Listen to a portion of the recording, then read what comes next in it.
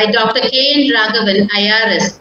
He is the chairman and executive director of Rubber Board on the topic From Medicine to All India Service. Raghavan sir completed his MBBS from Calicut Medical College in 1988. Later, did postgraduate studies in physical medicine and while he was doing postgraduate studies that he joined the Indian Revenue Service. Dr. Raghavan has held key posts in the field formation of Central Board of Indirect Taxes and Customs, CBIC, and Directorate of Revenue Intelligence. He has served on deputation to the Government of Kerala, besides serving a tenure in the High Commission of India at Singapore. He was the Commissioner of Customs at Kochi from 2012 to 2017. He has also been the Principal Commissioner of Center GST in Mumbai from 2017 to 2019. Despite hockey being the national sport of the country, it is cricket which rules over the hearts of the citizens. Dr. Raghavan got accredited as an umpire with the Board of Control of Cricket in India, BCCI, in 1991. He has officiated in two one-day internationals, one as on-field umpire and one as third umpire, and was reserve umpire in three matches. His books, Dividing Lines, Contours of India-China Conflict, won critical acclaim as one of the best researched books on the topic of Sino-Indian War of 1962. Other books are World Cup Chronicle and A Slice of Al- Calicut. I take this opportunity to welcome all the participants to this session.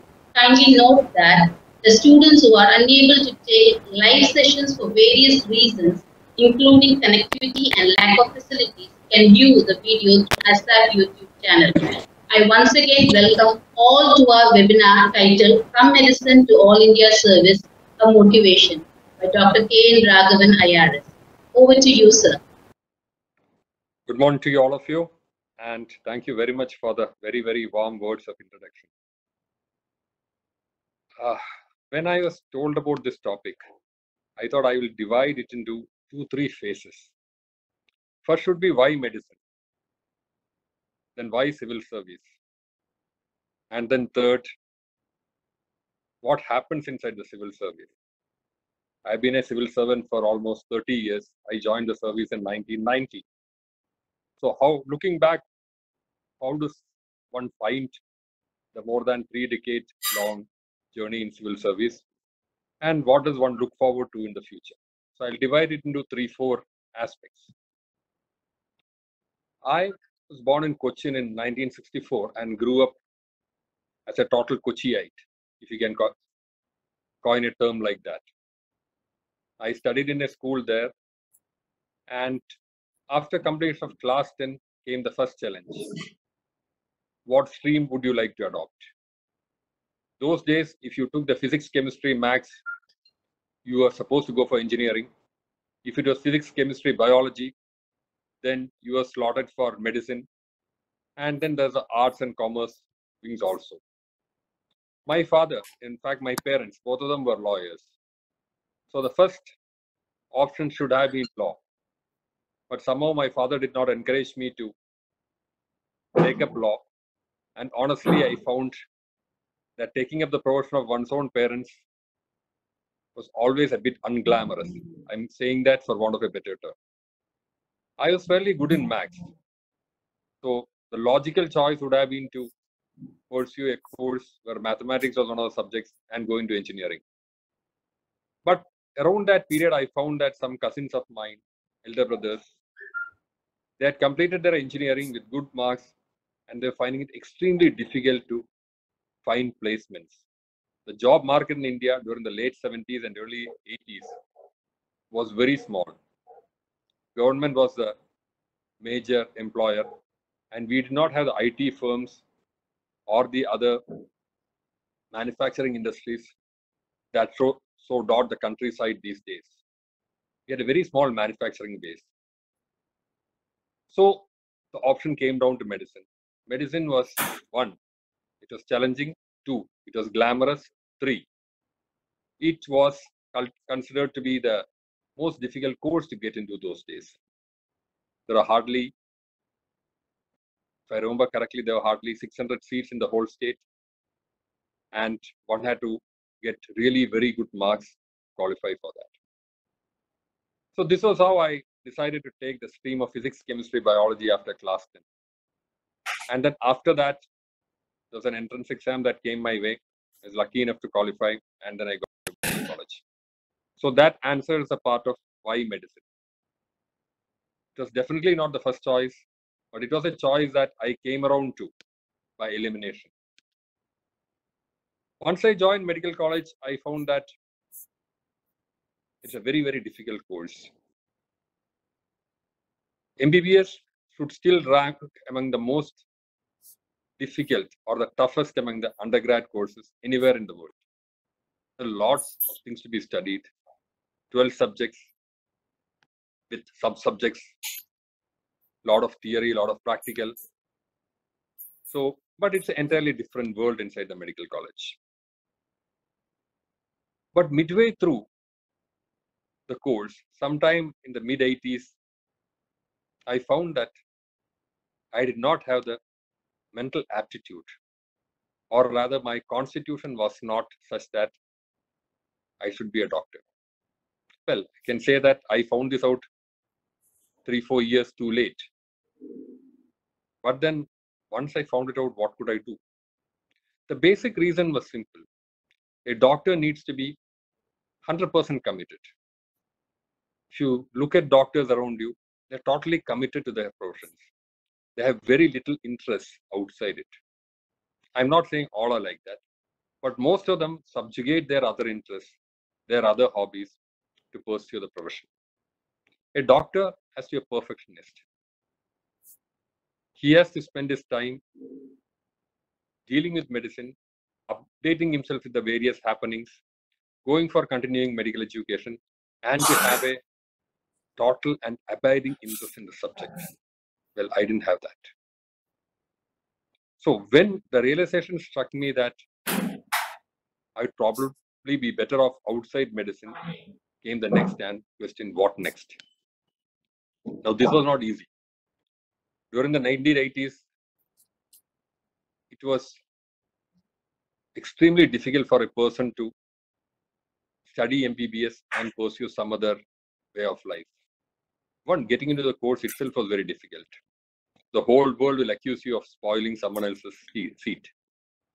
And then what will a person who is trained in MBBS do otherwise?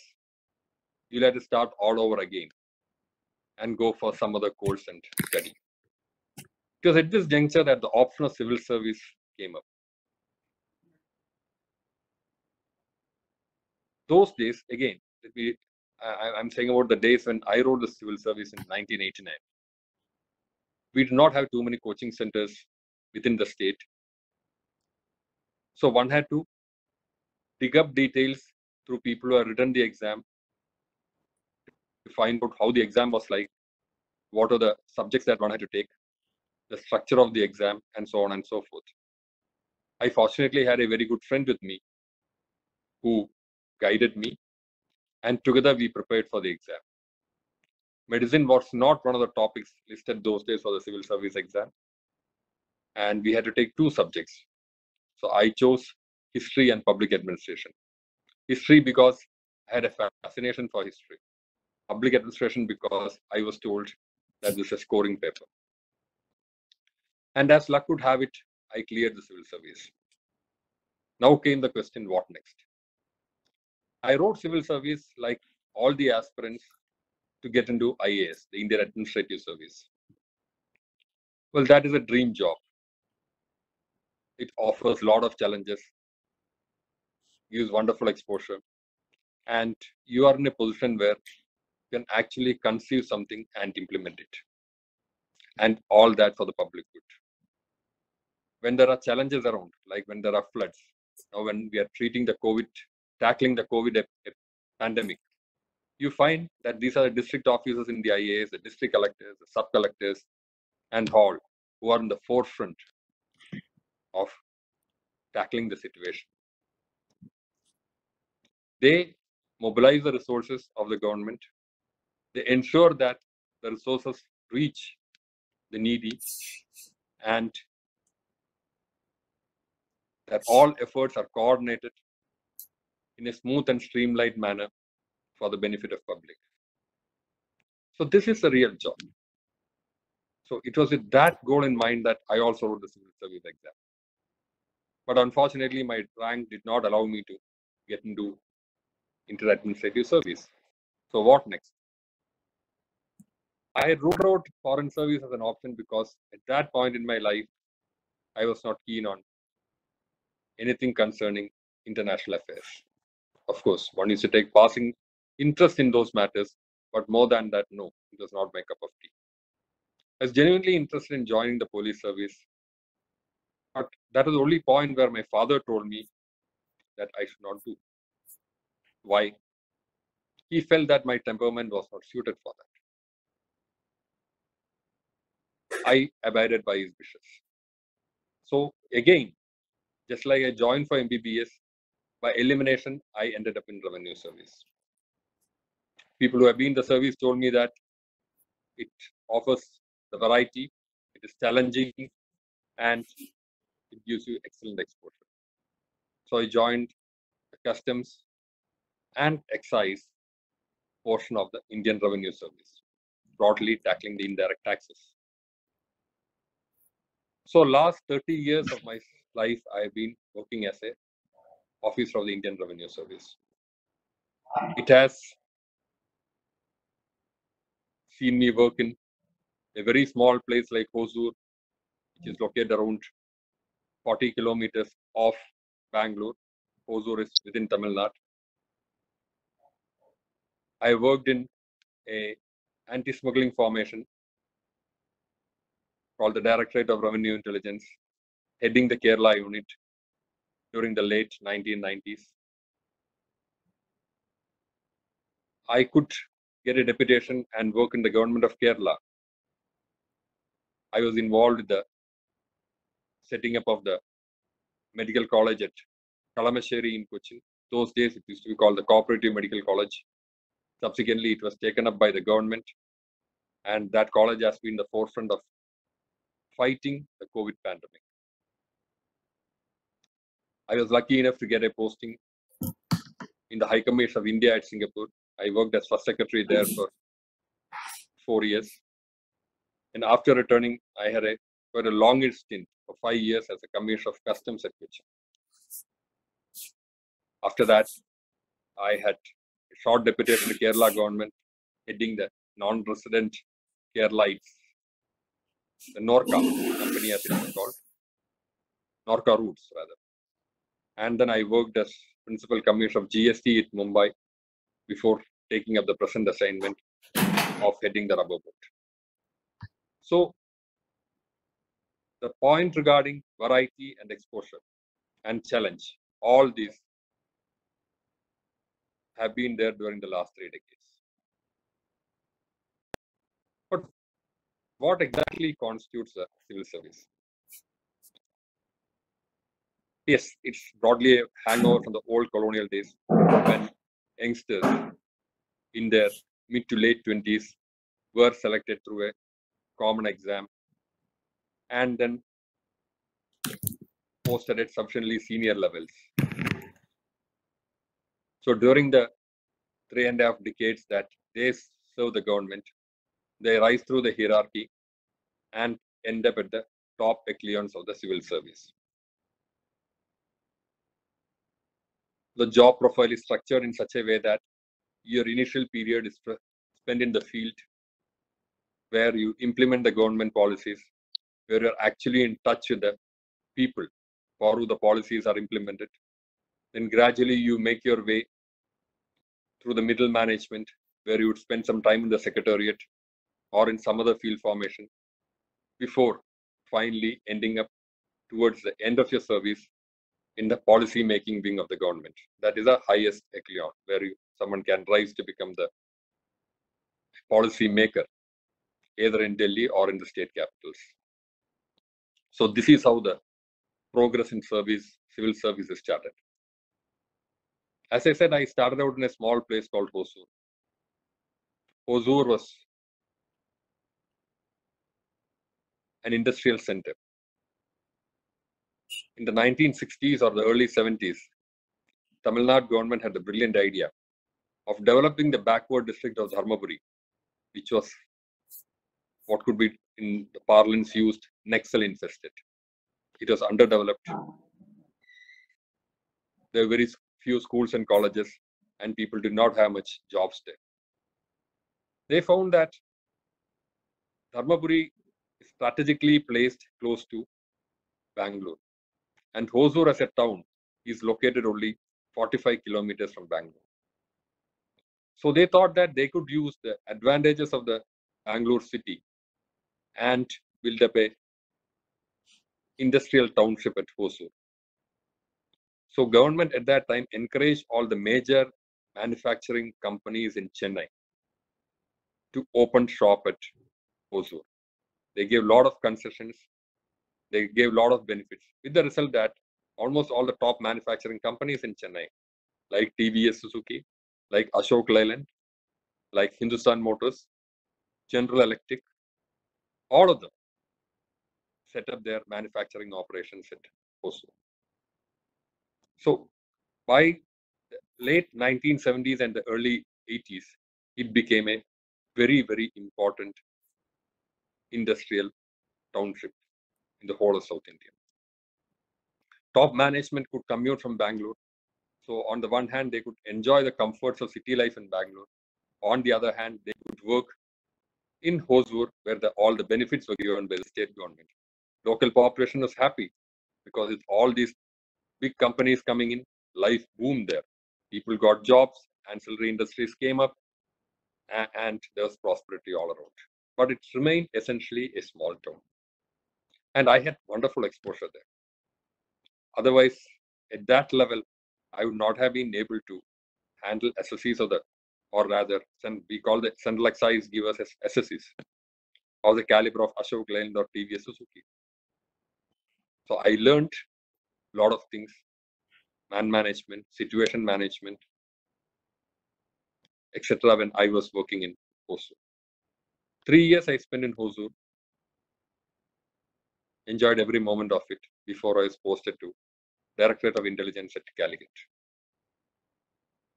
If you have heard of Directorate of Revenue Intelligence, called as DRI, it is primarily the anti-smuggling organization within the Customs Department.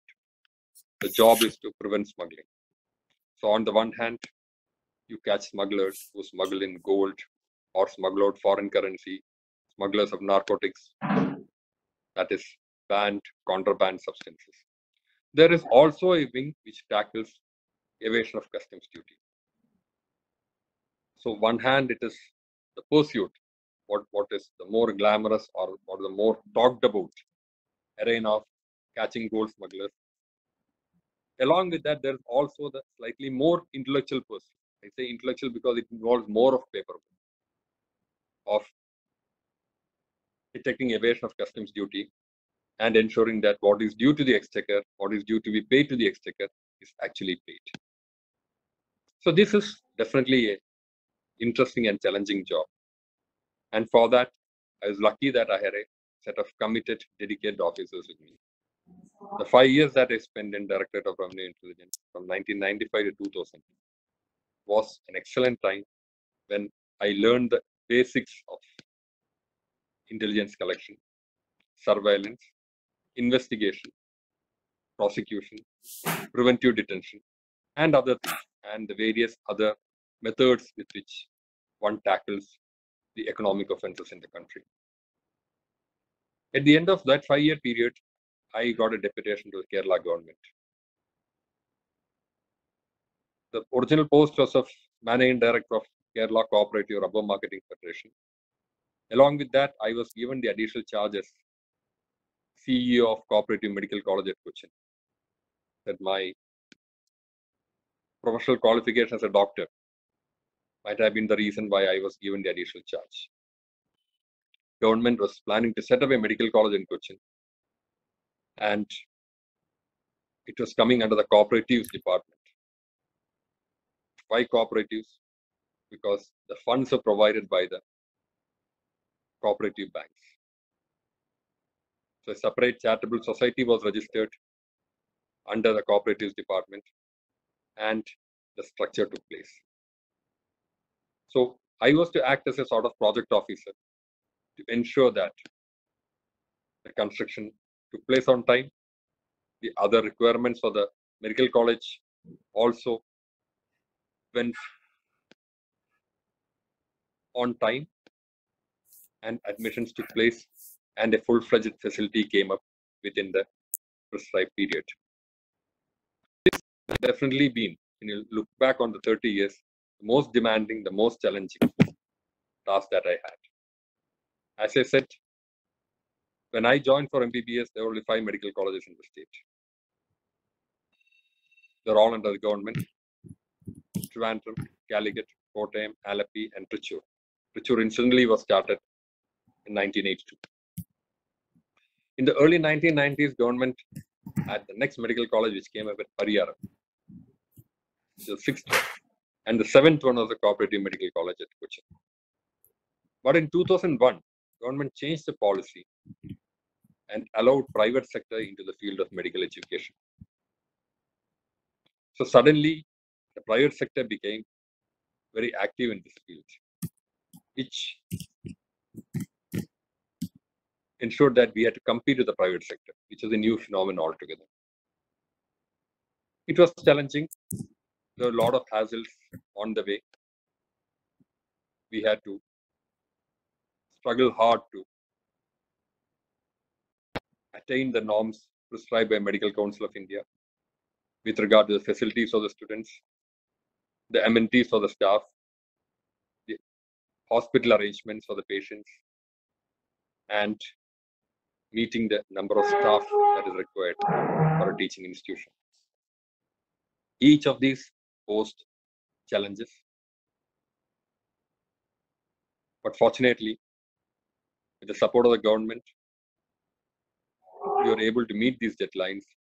And by the time I left in 2004, we were able to get the approval from Medical Council of India and fresh batches of students could be admitted.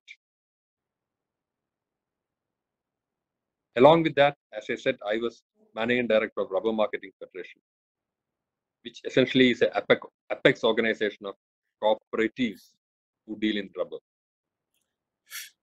Many of you will be aware that Kerala has extensive rubber cultivation. And marketing of rubber was done by this rubber cooperatives. And at the apex of that, there's a cooperative federation called Rubber Mark, which I headed. Those days, the price of rubber had suddenly fallen, and Government of India instituted a program for export of rubber, and we were made the nodal agency. So that was one very interesting operation that I could take part in. Because during the course of one year, we could export more than 20,000 tons of rubber. So from zero to 20,000 was one bold, big leap, which we could accomplish. And during that time, India could establish the first firm footing in the international rubber market as an exporter. This also helped me to learn the nuances of EXIM business, foreign trade, the world of letters of credit, discounting of letters of credit, and so on and so forth. But altogether, the period from 2002 2004, when I handled these two charges, would remain the most demanding, the most challenging, and looking back, the period that gave me the maximum satisfaction. When I returned to a department in 2004, I was posted to Nhava Sheva, which is the largest container port in the country. And from there, I went on a deputation to the External Affairs Ministry. I worked as a first secretary in the Indian High Commission in Singapore for four years. Was extremely lucky that the High Commissioner then was a knowledgeable, erudite, scholarly person, none other than Dr. Jaishankar, who is presently the External Affairs Minister of India. So under the guidance of such senior officers, I learned the ropes so far as diplomacy is concerned. And Singapore is a place where you keep learning every day, where it is about the style of work, the prominence it is, the work is undertaken to, the way in which they organize matters, and the other nuances of diplomacy, conduct of meetings, maintaining the record of meetings, and how to prepare for meetings, how an acute sense of history is always essential in conducting a successful meeting. So all that I learned. I could also use opportunities for visiting some of the countries in Southeast Asia, which broadened my experience. It's a good, great learning experience. Challenges probably were far fewer because it was very, very structured existence. And you are not very high up in the hierarchy when you go to the embassy. But it's an experience, it has been wonderful. When I came back, I was posted as Commissioner of Customs at Cochin for five years. Joined in 2012, left in 2017. Again, a period that gave me a lot of satisfaction because we were able to do a lot of work in curbing the smuggling of gold, which had again taken a spurt, and then doing a lot of things to ease the conduct of business. You would have heard or read that India was ranking very low in the ease of doing business parameters. And one of the areas which are cause of concern was in the time taken for clearance of goods at port. This is called the dwell time. The time period from the time the ship docks at the port to the point where the goods leave after customs allows what is called out of charge. So this is the time that the goods dwell at the port. When the ship reaches, it arrives at the port. And when the lorry takes it out, it leaves the port. So what is the time taken for that? It used to be very high in Indian ports. But due to some concerted efforts at all levels, with all stakeholders, the importers, the customs brokers, the shipping agents, port authority, the customs authorities, and various other agencies who are involved in the import, like animal quarantine, plant quarantine, textile committee, various labs that do the test. With, with the help of all that, you're able to bring it down markedly, which is one of the reasons why the ease of doing business in rankings India has gone up. We were somewhere at 120, now we have moved into somewhere in the mid 60s or the mid 50s, which is quite a good upward movement that could take place only because of very, very involved, dedicated effort, not only by officers of customs, but by all the other people involved in the EXIM sector. Following this, I had a short stint in NORKA Roots, where the problems relating to non-resident Keralites are attended to. NORKA Roots performs commendable work even as I speak. You know that NORKA Roots is involved in bringing back non-residents from outside the state, from outside the country, arranging quarantine facilities for them, ensure that people are given the correct priority.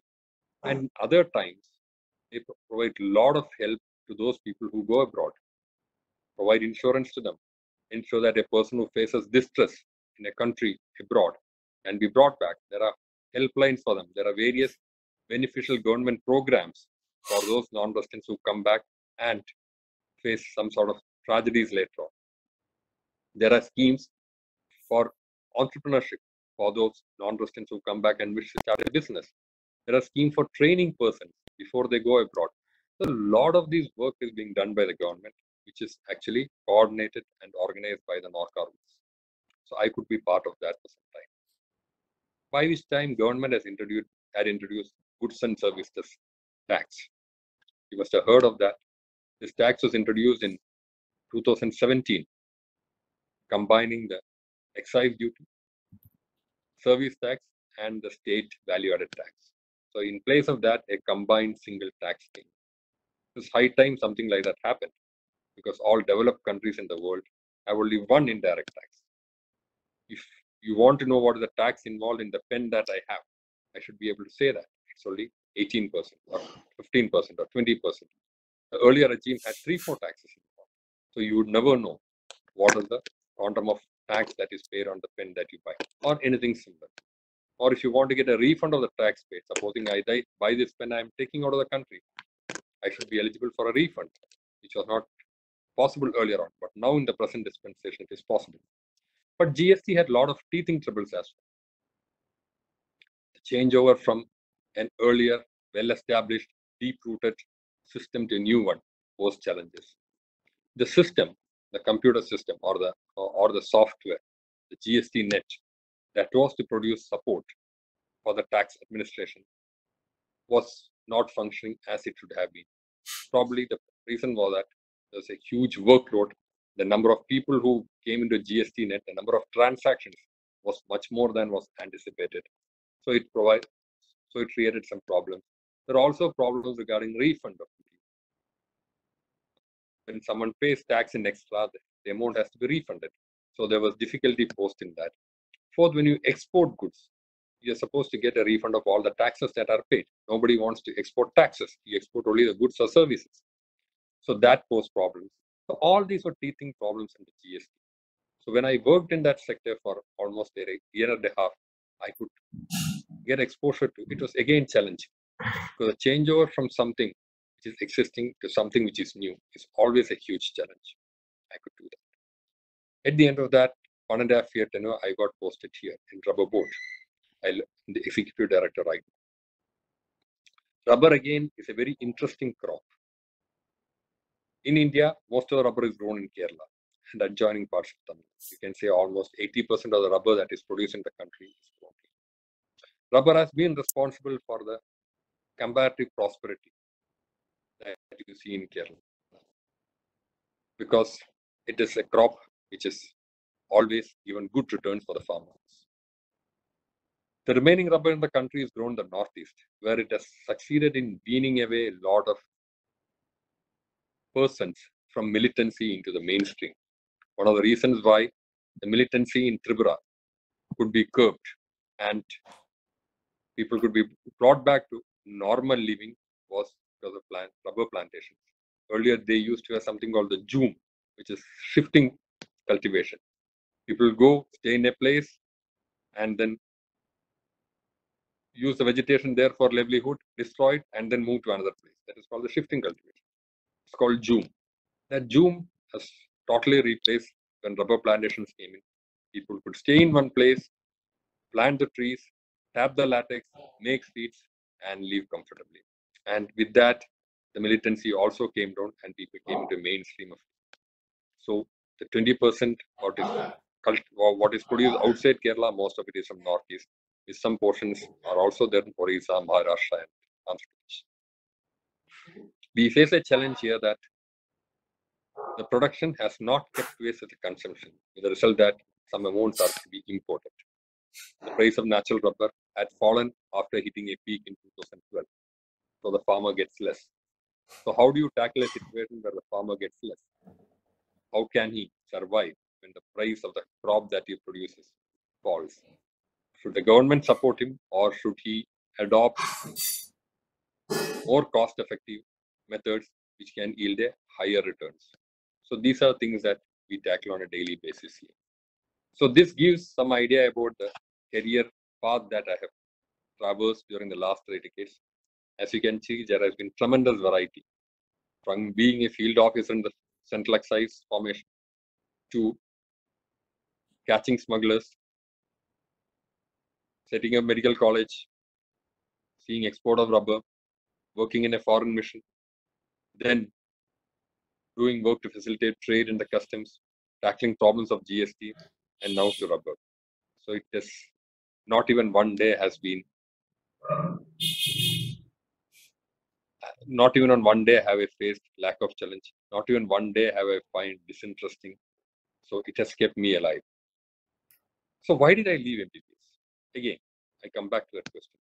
It is because I found that my mental constitution was not fit for that. I did not have that 100% commitment to be a good doctor. What were the other interests that I had? It was primarily cricket. I was introduced to the game when I was a child my father thought that it was a good ploy to make me read the Hindu newspaper. Well, I wasn't very keen on reading the Hindu newspaper. So he thought that if he could make me interested in cricket, there would be good articles about cricket coming in. Start reading the newspaper, and I gradually migrate from the sports page to the more relevant pages. Well, I got interest in cricket. I started reading the Hindu, even though that migration to other pages took place only after many, many years. But I developed a passion for cricket. With the result that I would think about cricket, I would play the game, think about it, dream about it, and cricket was my whole life.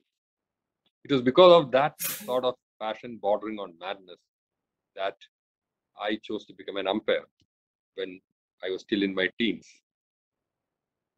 I was lucky because I could pass the exam conducted by the Board of Control for Cricket in India called BCCI for becoming first class umpire at a relatively young age of 26. So from 1991 onwards, I was in the panel of BCCI. So I could umpire Ranji Trophy matches and the various other matches organized by the BCCI. In 1996, I was upgraded to what is called All India panel, which made me eligible for umpiring one day international matches also. So I had umpired one ODI, one day international match on field. I was third umpire in one match, and I was reserve umpire in three other matches. Plus, I umpired numerous Ranji Trophy, Duleep, and the other trophy matches. I retired from the panel in 2012, and I found that I was not getting enough time. My official responsibilities had become too onerous for me to spend adequate time on umpiring. But what did I gain out of this?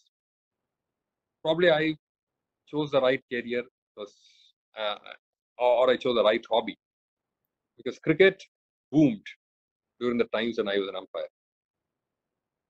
You know, that is roughly the period when Sachin Tendulkar came on the scene. It became a very popular sport on TV. And the general interest of the public towards the game increased manyfold. When I used to play cricket, when I told my father or mother I want to play cricket, they said, come back home by six o'clock because you have to study after that. When I was into my umpiring, I would find parents taking their children for coaching camps, waiting outside, and then taking them to the schools. So that is a change that has come in. Earlier, it used to be seen as something of a diversion. Now it started being seen as something which can become a mainline profession. But for me as a person, umpiring helped a lot. One, it gives you tremendous mental and physical stamina. You have to stand the hot sun for six hours in a day or more than that. You have to keep focusing on the ball, which is not easy. You require tremendous amount of mental stamina to do that. To stand the hot sun, there will be crowds around, there will be pressure from the fielders, and all you have to do is to watch the ball and ensure that you don't make a mistake. An umpire is judged by the number of mistakes that he makes.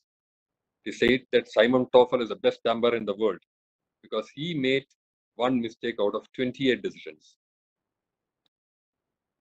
Whereas average Indian umpires make one mistake out of 24 decisions. So that is the difference. That's all that's the difference between being good or very good to being excellent. Second, physical stamina. You would have seen umpires stand. Umpires can be lean, thin, some may be look very old, some may be quite portly, but all of them have the stamina to stand there. You would not have seen a match which got disrupted because the umpire has to take a toilet break. It doesn't happen. That sort of mental discipline, the physical discipline is ingrained into an umpire, which becomes part of your general self. You're never late for any place. You don't see a match that started late because the umpire was late. They're always on time. So a lot of these things got ingrained into me. But most importantly, I was kept rooted on ground. When you get into a job in civil service, people start calling you sir. People at least show their respect you. You tend to develop certain airs around you. Start thinking, yes, I'm a great man. People call me sir. So that pomp of the office might get inside you also. But when I go for umpiring, nobody knows who I am. I'm just an umpire. The players treat me as an umpire. So whatever the abuse that is reserved for the umpire will come to me. There's no point saying I'm a collector there or I'm a director here. No, that can be firmly rooted on the ground. So, this is what I gained from there. One, the work ethic of an umpire, to the concentration of an umpire, the decision making of an umpire, and finally, it helped me to stay totally rooted on the ground. So, I'm thankful for umpiring, for cricket for giving me all these things. The next thing I want to talk is about hobbies. When I joined the service, the first couple of years, I was sitting in the office of a very senior police officer. Mainly, I asked him, Sir, what is the reason behind your success? He told me. He thought for some time and he told me, Raghavan, my success is because of the game of shuttle badminton that I play every day in the evening. I thought he was pulling my leg. I smiled. Then he looked up and said, No, Raghavan, I'm serious. And yes, why, why so, sir? That policing is the most tense job of all. You have to be on your foot the whole time. A lot of pressure from all sides. There's a traffic jam, you blame the police. If there is a VIP passing through, that has to be done by police. For anything that goes wrong, the police is blamed. And you have to be up and about for most of the day and night. So frustrations also tend to be very high. So if you take your frustrations with you, you will become depressed. You will start indulging in something or the other, which can create health problems as well. So what I do is that I play shuttle every day in the evening. So I take out all my anger, all my frustration on the shuttle. So that when I finish it and go home, I put behind me all the frustrations and everything, and I can become a decent father and a good husband at home. So this has helped me a lot. So this set me thinking. One should develop a hobby. A hobby on which you are able to spend at least one hour every day. I started reading. Even otherwise, I used to read, but I made it a point that I would read every day. I started jogging because I found that that physical activity is something I can do every day, wherever I am. All you need is to pack a pair of running shoes with you. Started doing some amount of yoga. If you're not able to go out and run, you can do it within the confines of your room. So physical fitness is something that is very important. You don't realize the importance of that. But as you grow older, you will realize that health is the biggest wealth you have. No company, no organization will want to employ a person who is not fully healthy. If you are the sort who has a health problem, you'll always be worried about it. And you'll spend your time going to hospitals, coming back. Your output will not be up to the expectations of the organization. So you have to take care of the person. So physical health is one thing, mental health is the second point. So physical health can be done by doing the exercises, yoga, walking, running, whatever, and mental health can be maintained by your hobbies. So this should become a part of your routine. Doing something that you like for one hour, at least one hour in a day, will help you to push all the frustrations, disappointments out of your mind and help you to emerge as a better person. If you can paint something, do it. If you can sing something, do it. Write, dance, Uh, ever so many hobbies that are available, or reading a good book, watching a movie. All these are hobbies. Will help you to take your mind away from the immediate and transport into a world where you get happiness and joy. And that will help you to evolve into a better, decent, happier, contented human. So this is something which has should be in good state. I started writing just by chance. It was sometime in the year 1999 that my friend, who runs a publishing house, asked me that I could write a book on it. I thought he was joking. But he was insistent. And then I thought, okay, I will not get another chance of somebody asking me to write a book. So I wrote a book on World Cup, which was more for the sake of satisfying my friend's demands than anything else. It was done in a hurry. It had to be brought out before the 1999 World Cup started. Anyway, we managed to within the target fixed for us. But as I wrote the book, I realized that writing gave me a lot of happiness. So I started doing it as a hobby. When I was in school, I had the time to indulge in this hobby. And I also got in touch with some persons who are running a tabloid there. Singapore has very few newspapers, so I could contribute a regular column.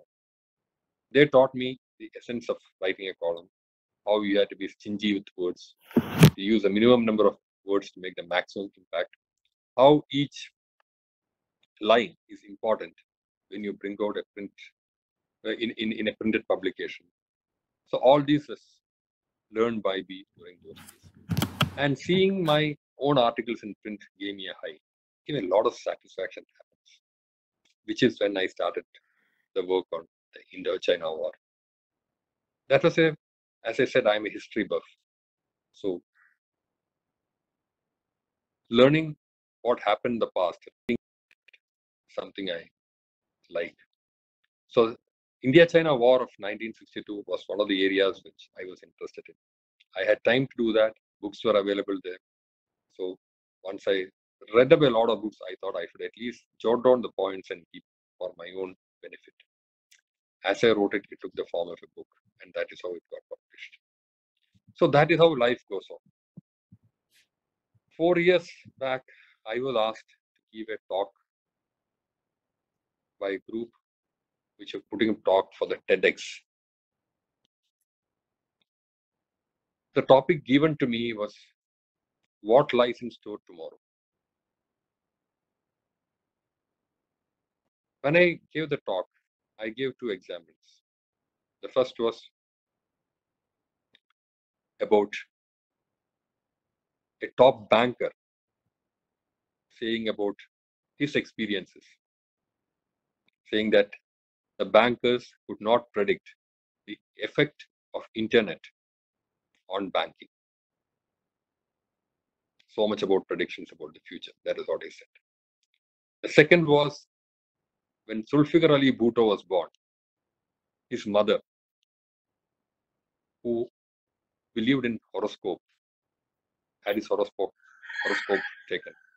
And the person who wrote the horoscope said that he did, that this person will attain great fame, success, power, everything. But nothing was seen after the age of 48.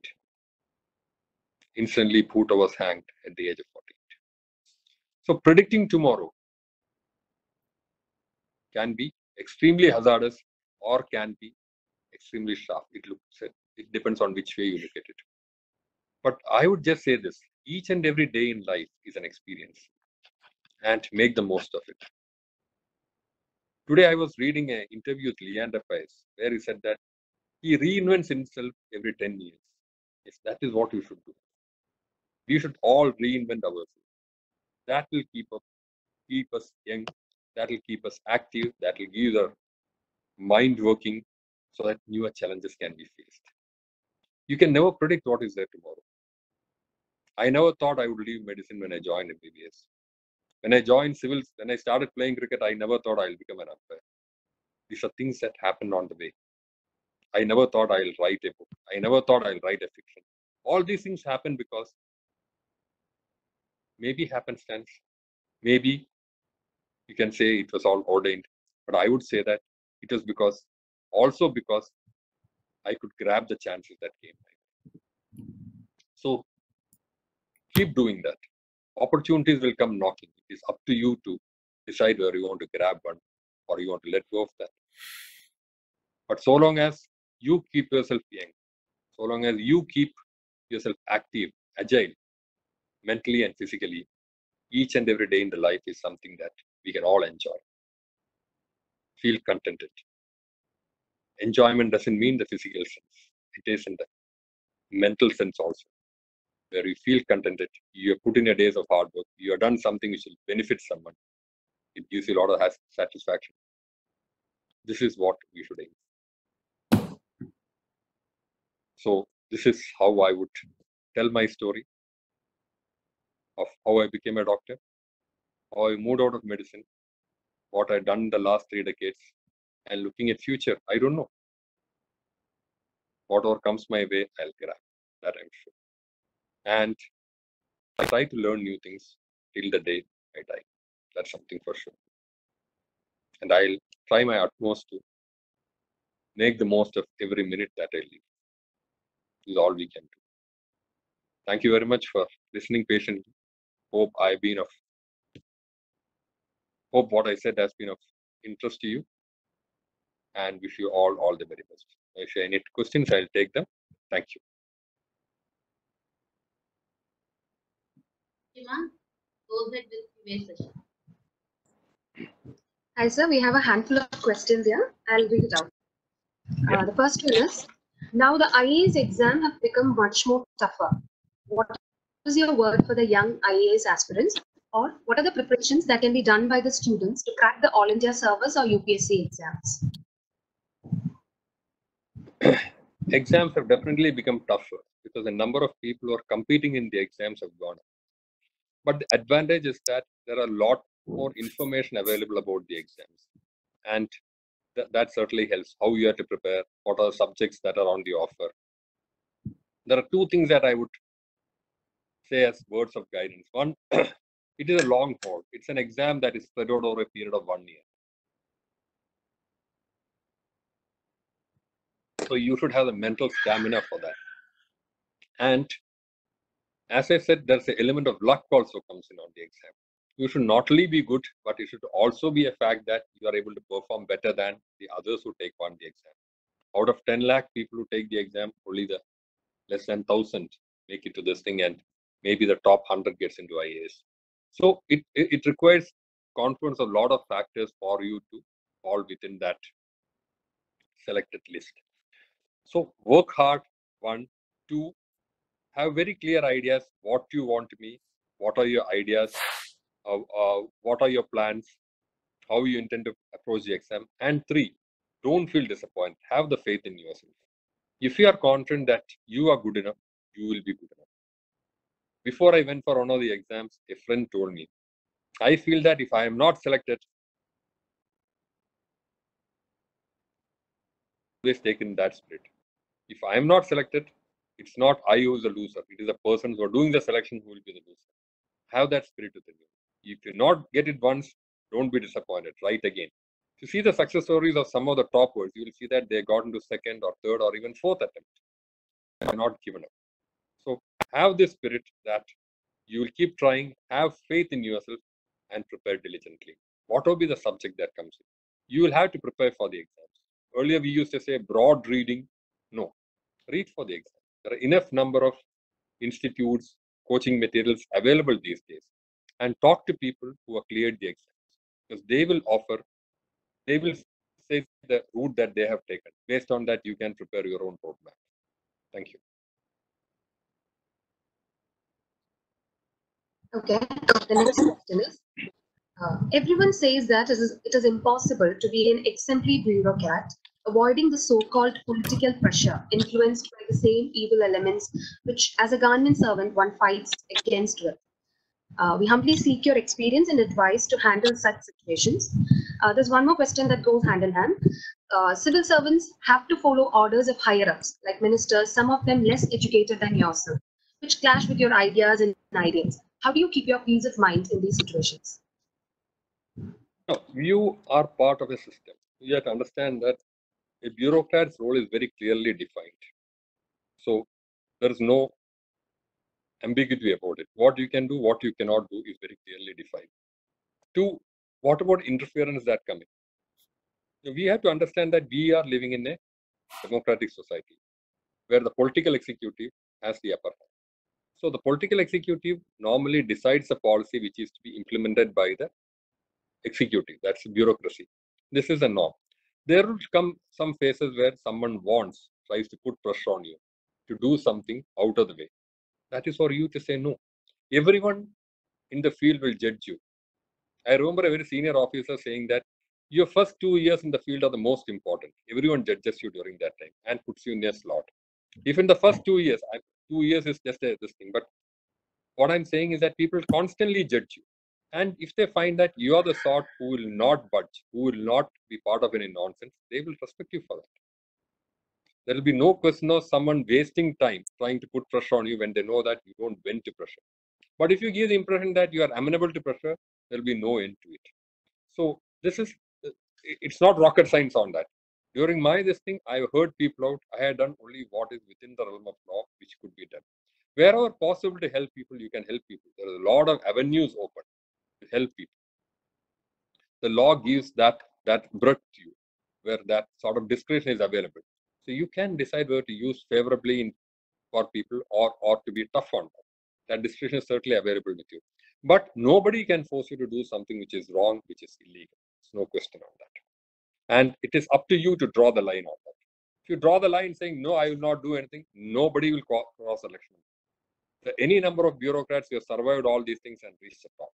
There's no problems on that. Second, regarding educational qualifications.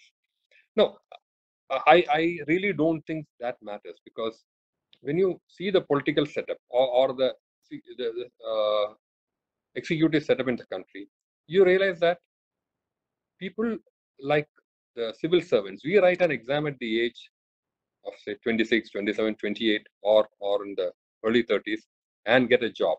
You are secure for life in the sense that unless you do something grossly wrong or you are found to be having some corrupt practices, your job is secure if pay comes in.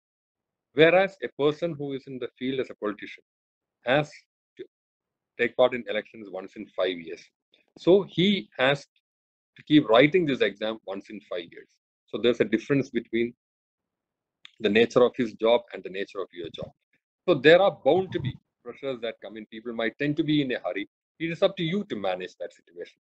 Educational qualifications do not come into play because you there might be people who are more qualified than you working under you. That can happen in bureaucracy also. It, it can happen. But what matters is your experience, your expertise on the subject matter, and the amount of common sense that you have. The most essential characteristic that a civil servant needs are these three. You should have some amount of expertise about, about the job that you're doing. You should have some experience of how to tackle situations. And three, you should be able to understand the uh, nitty-gritty of what is happening and proceed with that. Once you have these three, nobody will be able to. You will understand the uh, perimeter within which you work in and nobody will be able to push you out. Educational qualifications per se doesn't matter. That's my personal opinion. Okay, sir. Next question. How can India cope up with the drop in GST collection during the period? It'll be difficult because the GST collection, GST's drop is because of GST is a goods and services tax. Goods have not been produced, services have not been consumed. So there'll definitely be a drop and you, you, can see that the first two months april and may april probably it has been very low may also it will be low because the lockdown is till 17th and even now the most of the uh, area areas of production is just getting back to normal. So this will be a problem. And certain industries you can take the case of something like the tourism have been badly affected. But what happens is that these, these sort of phenomenon if you see happens in many times of crisis. During war years you can see that certain nations have faced huge problems because of war, but how have they bounced back? You look at a country like Japan, everything was shattered at the end of Second World War. Within a span of 20 years, they grew back. So at the end of it, at the, in any crisis, there's an opportunity. So you will find that the life comes back normal and certain sectors will grow back very fast at the end of the crisis. So this dip in GST collection would only be temporary. And as life comes back to normal, as the threat of the COVID pandemic recedes, more, and more production and provision of service will happen and GST collections will come back. This gap will be made up, if not this year, certainly during the course of the next couple of years. Okay, so next question. Uh, the rubber industry was once one of the backbone of our economy, but it's been on its declining stage due to many reasons. Will the glory come back? rubber is still the backbone of our economy. I would not say that it is not, because you look at it in Kerala, it offers solace to a considerable portion of the population. One reason why it is not doing well, the main reason it is not doing well is because the international prices have been low. Why are the international prices low? Because when the prices went up, prices always follow a cyclical pattern it's determined by the supply and demand. From 2002 onwards, the prices started growing up. Why?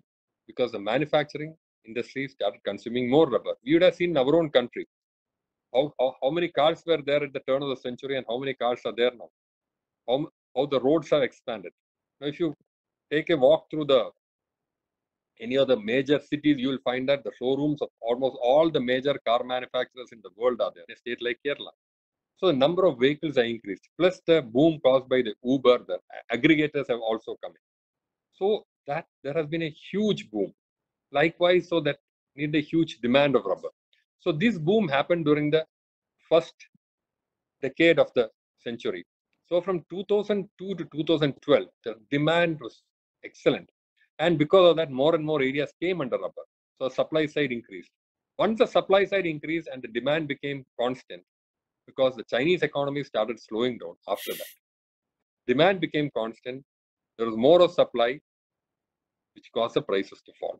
And whenever the prices go up, it doesn't go up gradually. There's a spike that happens. And when they fall, there's an abrupt dip that happens. This is what actually creates a problem sometimes. So the low prices have been the main factor. How can you tackle the low prices? One, the demand has to pick up. That, that may take some more time. You are expecting the demand to get back to better this thing this year because last year was low because of the BS6 standards being introduced this year. But this year it was expected to pick up. Maybe it may get a bit delayed. Second, internationally the supply has come down. One, because Chinese demand has sort of plateaued out. Second, a lot of plantations in Indonesia and Thailand have been affected by a fungal disease, which has impacted the production of rubber there. So because of both these reasons, we felt that the supply side would be low. But now the whole equation has been again thrown into a sort of turmoil because of the impact of COVID. So we'll wait and see how it happens. But I would say that we have to understand that at any stage we'll have to minimize the cost of production. Rubber board has been popularizing low frequency tapping. You don't have to tap your tree every day. You can tap it once a week or probably twice a week. You can have uh, collections of tappers. If you can have aggregators of vehicles under Uber and uh, Ola, why can't you have aggregate of uh, tappers? There are tap tappers banks which are promoted by the rubber producing societies. Take their services so that your expenditure with regard to tappers, your expenditure with regard to tapping and other things will come down. So this is one way to keep on increasing your productivity by bringing down the cost. There are examples of people successfully managing it. So we need to adopt to the change that comes in. And in life, the key to success is managing change. So that is what this sector needs right now. And I am sure it will happen also. Okay, so next question. Uh, nowadays, certifications like NABH, JCI have become common among many private hospitals. What is your opinion with the certifications and implementation of the certification in government medical colleges? Uh, these parameters, benchmarks, and certificates are always good. Now, in government offices, we have the ISO. What do they stand for? They, they only say that your systems are conforming to certain standards. That is the way in which you work. The systems that you have in place within the organization conform to certain standards. NABH for hospitals, NABL for labs, they all do this. It's a sort of audit that you do.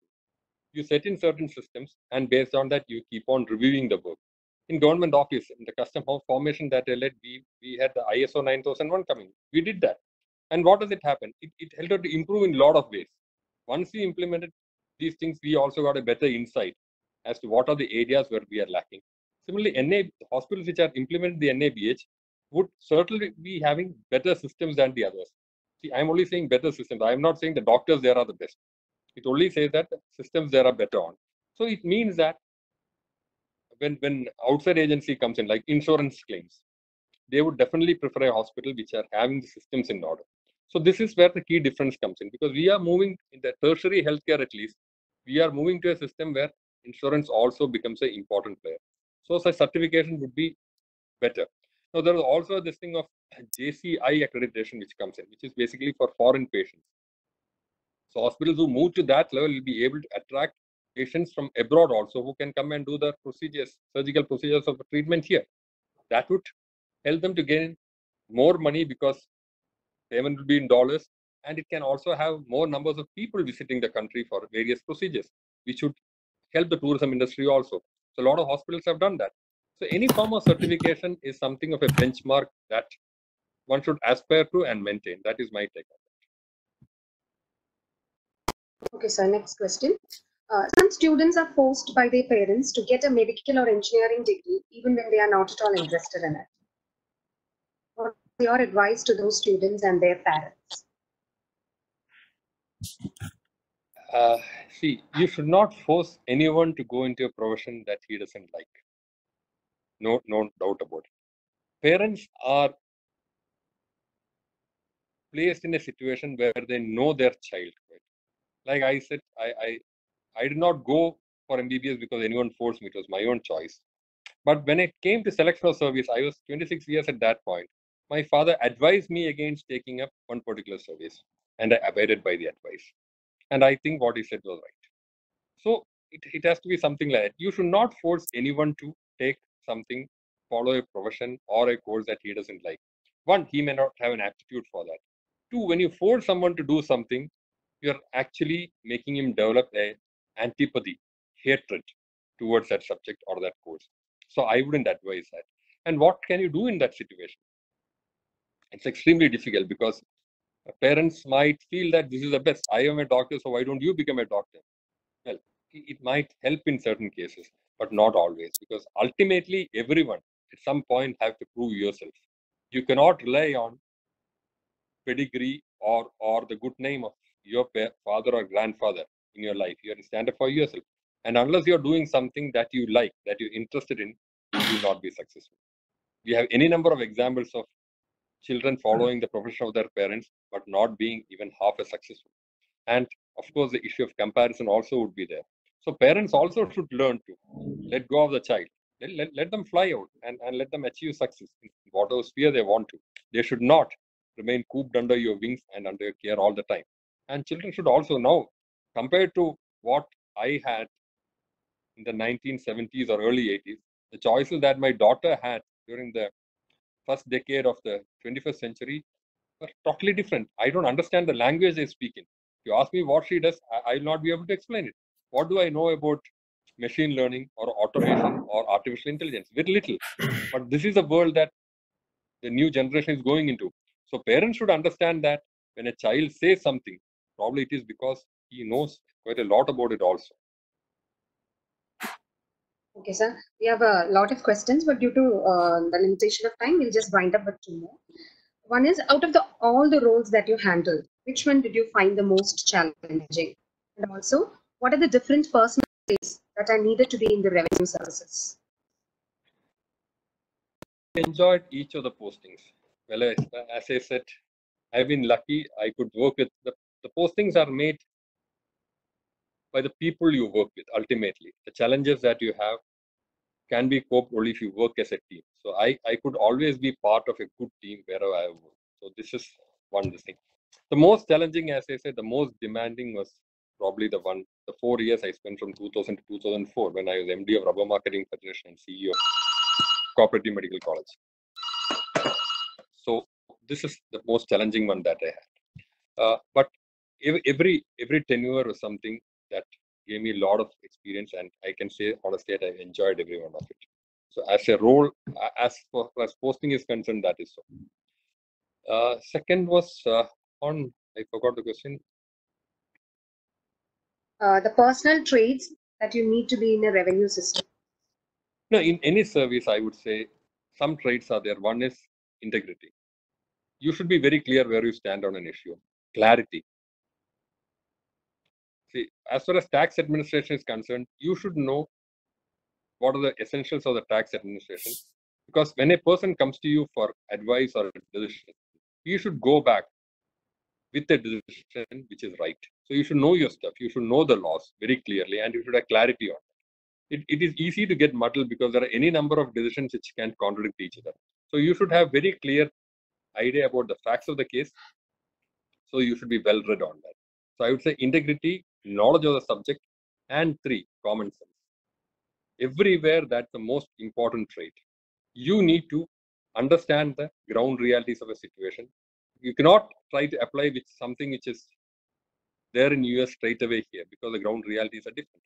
Similarly, wherever comes in, the law may provide for many provisions, but you should use the one which would be the best for a given situation, which is the most important thing. A lot of people fail in civil service or get disciplined in civil service because of this.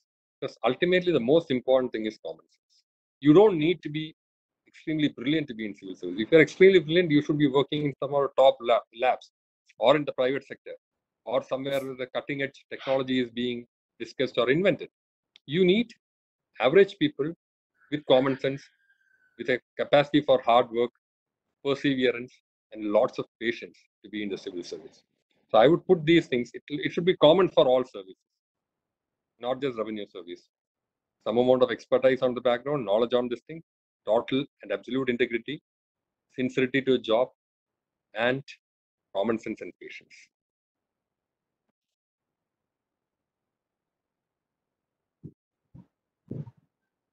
Thank you, sir. Um, Mercy, Are we through? Yes, sir. Thank We you, are through. for Uh, thank you for the one. accepting Hello? Hello, sir. Thank you for accepting our invitation and uh, thank you for sparing your valuable time and your thoughts with us, sir. Thank you very much, sir. Thank you. I enjoyed the session and uh, I hope it has been of some benefit to you and wish you all all the very best and have a wonderful day. Thank you. Thank you. sir.